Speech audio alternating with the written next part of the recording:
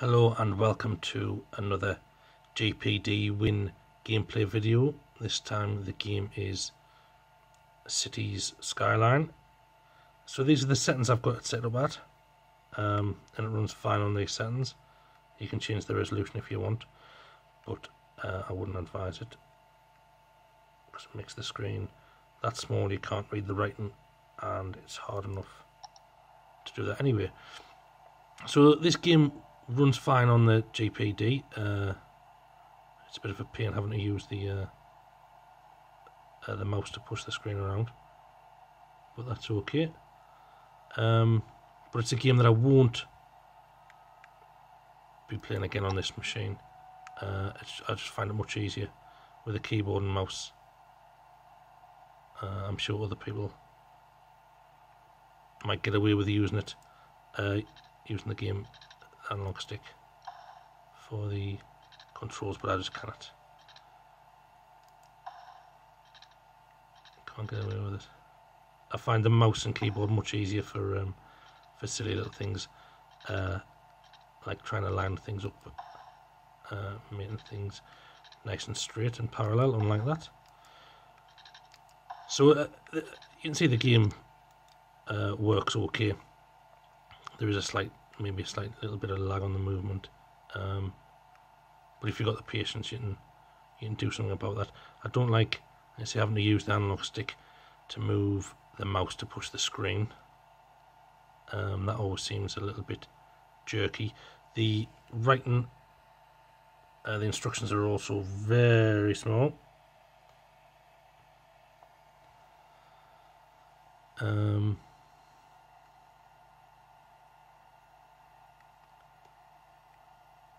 works. It works well enough. You know what I mean? It's not. Uh, if you if you can get past that, you can you can play this game on the move. Something I see I won't be doing. I I did play this quite a bit on the PC. Um, but it's not. I don't think it's very good on this on this uh, GPD. Although, as you can see, it can play it.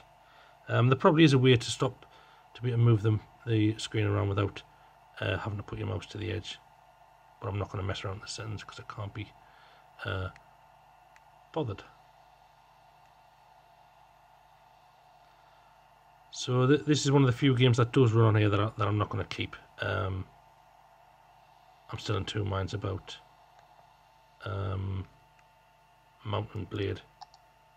It's a small game, but it is a good uh, it's a good game, and the more I play, the better I am. The the better I'm getting at it. So these are the uh, that's the control to stop the edge scrolling.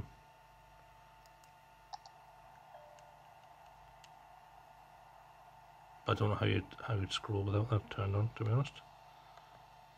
So you you can mess around with the settings if. Uh, if you think this is a game that you might like.